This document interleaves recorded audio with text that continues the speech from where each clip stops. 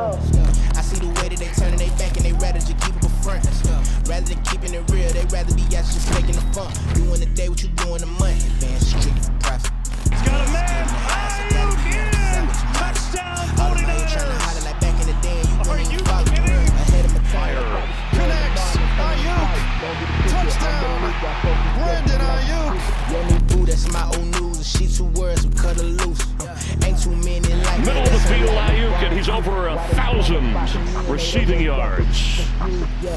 You know I'm gonna step, you know I'm gonna step, you know I'm gonna step, step, step, you know I'm gonna step, you know I'm gonna step, you know I'm gonna step, you know I'm gonna step, you know I'm gonna step, you know I'm gonna step. super excited. You know, that's the mark for receivers. So that's what you think about when you're training in the off season, when you're sitting at home, throwing the ball up in the air as a kid on the on the bed.